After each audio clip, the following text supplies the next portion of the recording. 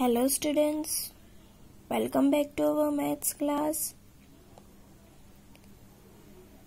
I hope you all are doing well.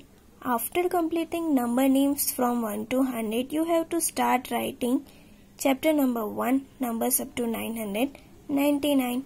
In a margin, you have to write down today's date, then write chapter number 1, okay? After that, leave one line and in margin write question number 1 number comparison. Then leave a one line. And using two lines you have to make a greater than sign less than sign and equal to. Okay? After that leave one line. And in margin make a star and write put less than greater than or equal to sign.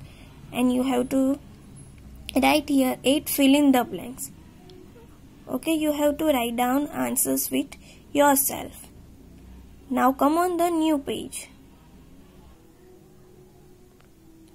On a margin write question number 2 even and odd numbers because it is not given in our textbook.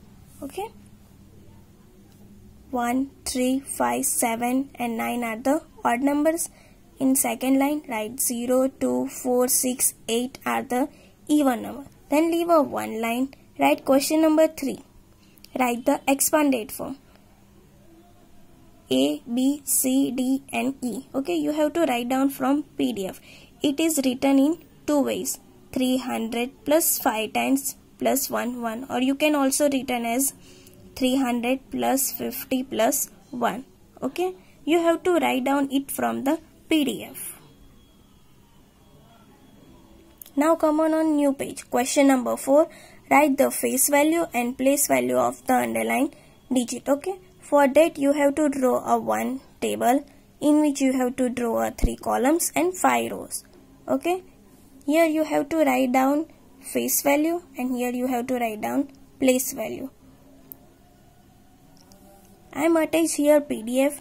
You have to write down from all the things from the PDF. So bye bye students.